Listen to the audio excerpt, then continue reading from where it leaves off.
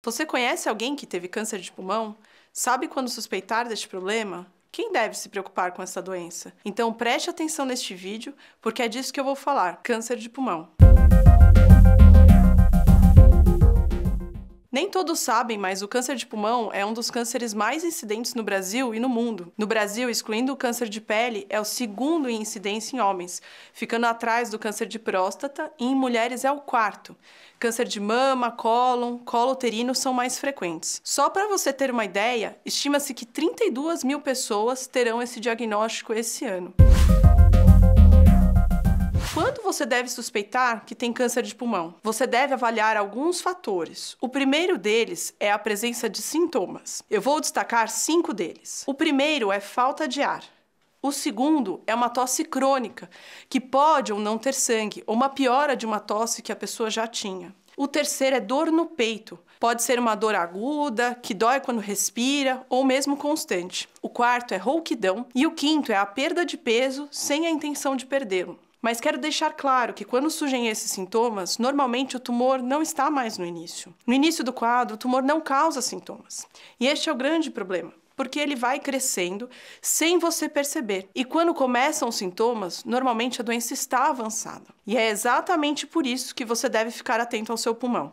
Especialmente quem tem maior chance de ter um problema, que é o que chamamos de fatores de risco. Eu vou destacar os cinco fatores mais importantes. O primeiro, o principal, é o tabagismo. Se você fuma, o seu risco de ter câncer de pulmão é 30 vezes maior do que quem não fuma. Se você não fuma, mas fica muito tempo em contato com quem é fumante, você é o que chamamos de fumante passivo. E o seu risco de ter câncer de pulmão também é maior. O segundo são outras coisas inalatórias, como maconha, cigarro eletrônico e narguile. O terceiro é a inalação de agentes químicos como asbesto, amianto e arsênio. A poluição do ar também está envolvida. Estima-se que 16% dos casos de câncer de pulmão do mundo estejam associados à poluição. E, por fim, os fatores genéticos. Se você tem algum parente, pais, irmãos que tiveram câncer de pulmão, o seu risco pode ser maior. A depender da presença destes fatores de risco, ou seja, dependendo do seu risco de ter a doença e principalmente da presença de sintomas que eu falei, você deve procurar um médico. Exames adicionais podem ser solicitados em busca do diagnóstico mais precoce possível. E que exames são esses? Como é feito o diagnóstico? Normalmente, o raio-x de tórax ou a tomografia podem ser utilizados. Na presença de uma nodulação ou qualquer imagem suspeita, deve-se prosseguir a investigação com uma biópsia, que não é nada mais que tirar um pedacinho do tumor e levar para análise no microscópio. Ao final dessa análise, é possível saber se tem ou não o câncer e qual o subtipo da doença.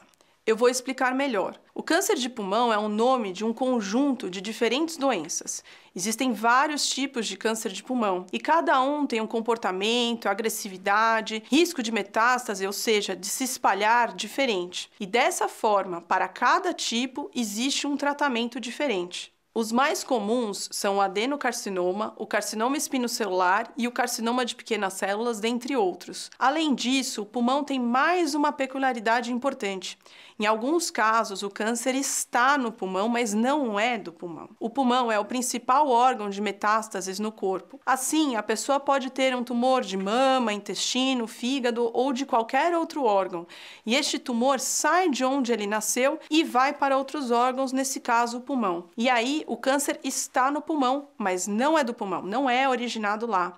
E nessa situação, para cada tipo de câncer específico, o tratamento também é diferente.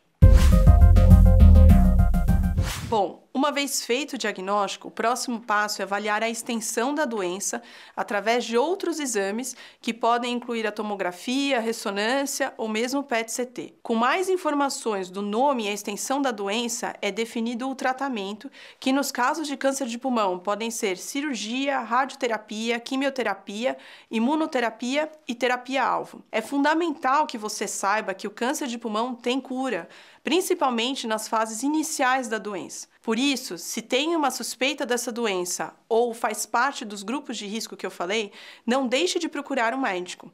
No caso, os mais indicados são clínicos gerais, pneumologistas, cirurgiões torácicos e oncologistas. Se tiver interesse, aqui no canal Doutor Ajuda tem mais dois vídeos que podem complementar o que eu falei vídeo de câncer e de tabagismo. Uma das maiores doenças da sociedade é a falta de educação e conhecimento. Sendo a nossa missão cuidar, a gente entende que primeiro precisamos educar para depois tratar.